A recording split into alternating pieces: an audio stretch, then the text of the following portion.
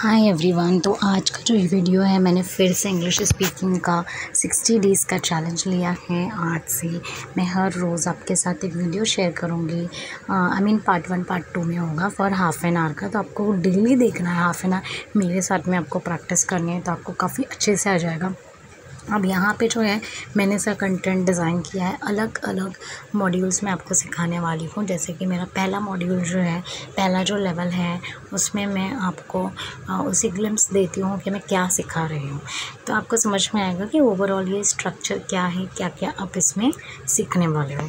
तो पहला जो है, इसके अंदर आप सीखोगे इम्पेरेटिव सेंटेंसेस किससे कहते हैं, कौन से होते हैं, फिर उसके बाद टेंसेस कौन से होते हैं, फिर मॉडल वर्ब्स कौन से हैं वर्ब टू बी कब यूज़ किया जाता है, कैसे होता है वर्ब ऑफ़ टू हैव फिर बेसिक वर्ब्स हो गए। फिर हम यहाँ पे इंग्लिश टू हिंदी और हिंदू टू इंग्लिश भी ट्रांसलेशन भी सीखने वाले हैं कि कैसे करना है। अगर हिंदी में दिया है तो उसको इंग्लिश में कैसे करेंगे? और इंग्लिश में दिया है तो आप उसको कैसे ट्रांसलेट करोगे इंग्लिश में? तो वो सीखने वाले हैं। उसके बाद में मैंने यहाँ पर कुछ स्पोकन एक्टिविटीज़ का भी सोचा है, जिसमें मैं डेली रूटीन की एक्टिविटीज़ बताने वाली हूँ। जैसे आप स्कूल जा रहे हो कॉलेज जा रहे हो जॉब पर जा रहे हो मार्केट प्लेस जा रहे हो तो कैसा होगा कॉन्वर्जेसन वहाँ पर फिर येस्टरडे रूटीन का आप कैसे एक्सप्लेन करोगे? आपने कल क्या किया? फिर टमोरो का आप कैसे प्लान प्लान करोगे कि आप कल क्या करने वाले हो? फिर अपना सेल्फ़ इंट्रोडक्शन आप कैसे करोगे? किसी फ्रेंड को या किसी स्ट्रेंजर को या ऑफ़िस में इंटरव्यू के टाइम पे वो होगा। फिर एज अ पब्लिक स्पीकर आपको कैसे ऑडियंस से बात करनी है, वो आपको यहाँ पे सिखाया जाएगा। तो ये मॉड्यूल वन हो गया। अब आगे बढ़ते हैं हम मॉड्यूल टू की तरफ़ मतलब लेवल टू में। तो लेवल टू में भी मैंने थोड़ा सा इसको एडवांस कर दिया है लेवल टू को। इसके अब लेवल टू में मैंने इसको थोड़ा एडवांस किया, जैसे मैंने बोला, जैसे वर्ब हमने पहले सीखा है टू बी तो वर्ब ऑफ़ टू बी है बट थोड़ा एडवांस लेवल का होगा यहाँ पे। फिर वर्ब ऑफ़ टू हैव पहले आपने बेसिक सीख लिया मॉडल वन में तो अब बारी हमारी एडवांस लेवल की।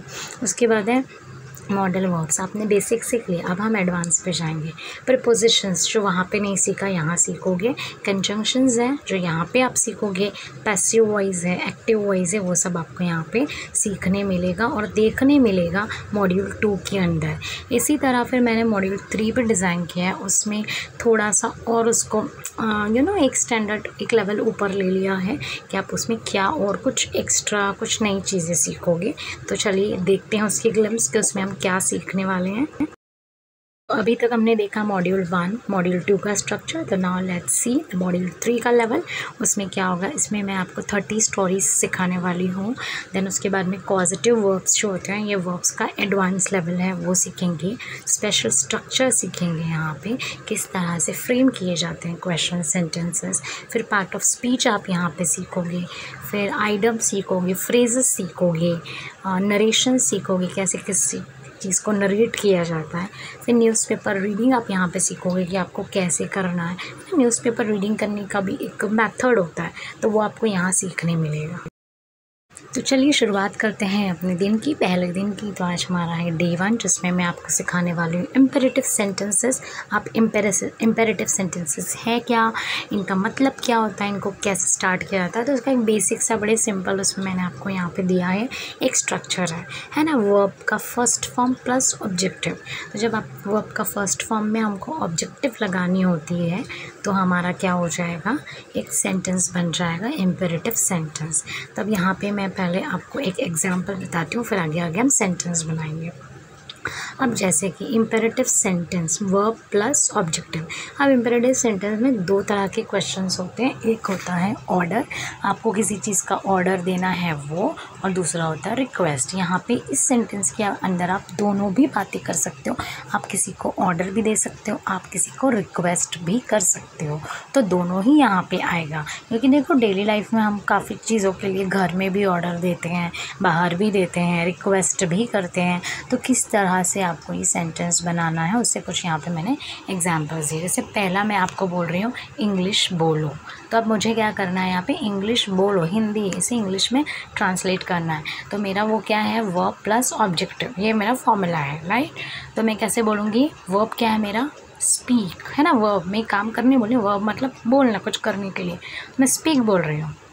और ऑब्जेक्टिव क्या है? मुझे क्या बोलने, बोलना है आपको कि क्या बोलो आप? इंग्लिश बोलो ना। इंग्लिश इज़ माई ऑब्जेक्टिव तो मैं क्या बोलूँगी? स्पीक इंग्लिश सिंपल है। स्पीक आपका वर्ब है। ऑब्जेक्टिव क्या है? इंग्लिश तो स्पीक इंग्लिश अब सेकंड है।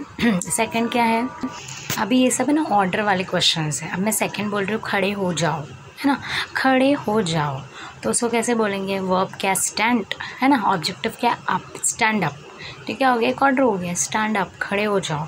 एक ऑर्डर दिया कि भाई अभी खड़े हो जाओ। तो क्या बोला स्टैंड अप ओके तो आप आई होप आपको समझ में आ रहा होगा। अब आगे बढ़ते हैं थर्ड सेंटेंस पे जैसे मैं बोल रही हूँ, कृपया दरवाज़ा खोल दो। है ना? तो कृपया के लिए क्या वर्ड होगा? प्लीज़ खोल दो। क्या? दरवाज़ा। तो ओपन द डोर उसके बाद नेक्स्ट है रोज़ाना इंग्लिश बोलिए। तो रोज़ाना के लिए मैं यूज़ करूँगी वर्ड एवरी डे। डेली भी आप यूज़ कर सकते हो, बट मैंने यहाँ पे एवरी डे लिया है।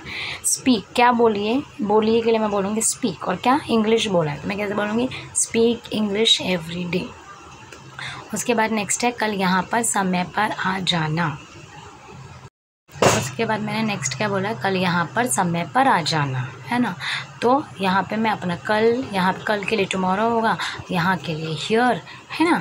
समय पर मतलब टाइम पर आ जाना मतलब कम ईयर तो हम कैसे स्टार्ट करेंगे? कम ईयर तो यहाँ पे वही फॉर्मूला लगेगा वर्ब प्लस ऑब्जेक्ट तो वर्ब मेरा क्या है? Come here on time tomorrow right come here on time tomorrow come here on time day after tomorrow आप इसको और बहुत से सेंटेंस बना सकते हो। उसके बाद नेक्स्ट मेरा है, जैसे मैं बोल रही हूँ, इस बुक को वहाँ टेबल पर रख दो।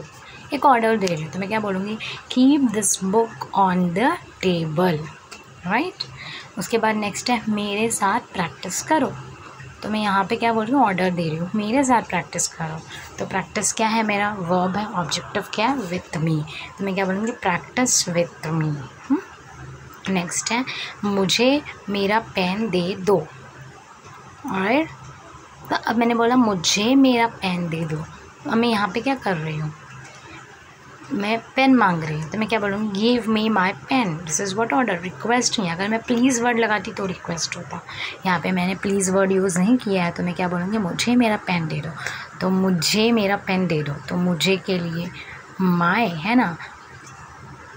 पेन दे दो पेन दे दो मतलब गिव मी तो क्या बोलूँगी मैं पेन दे दो के लिए क्या बोलूँगी गिव मी तो मैं बोलूँगी गिव मी मेरा मतलब my pen give me my pen उसके बाद नेक्स्ट है दरवाज़ा खोल दो। तो दरवाज़ा, दरवाजे को क्या बोलेंगे? डोर खोलने को क्या आएगा? ओपन है ना? खोल दो। तो क्या बोलेंगे? ओपन दी डोर उसके बाद नेक्स्ट है दरवाज़ा बंद कर दो। तो क्या बोलेंगे? क्लोज़ द डोर फिर है मुझे कॉल करो। तो क्या बोलेंगे? कॉल मी मुझे कॉल करो। तो मैं क्या बोलूँगी? कॉल मी मुझे कॉल करो। मैं ये बोल रही हूँ। तो कॉल मी सिंपल है। कॉल मी नेक्स्ट है, यहाँ बैठ जाओ। मैं बोल रही हूँ, यहाँ बैठ जाओ। तो क्या बोलेंगे सिट हियर है ना? ऑब्जेक्टिव है ना? क्या है वर्ब प्लस ऑब्जेक्टिव वर्ब क्या है? सिट है। और ईयर क्या है? वो ऑब्जेक्टिव है। फिर तैयार हो जाओ। बोलेंगे गेट रेडी राइट तैयार हो जाओ। गेट रेडी फिर है मार्केट चलने के लिए तैयार हो जाओ। मैंने थोड़ा इसको एडवांस कर दिया। तो क्या बोलेंगे get ready to go to market I hope you like this video please like share and comment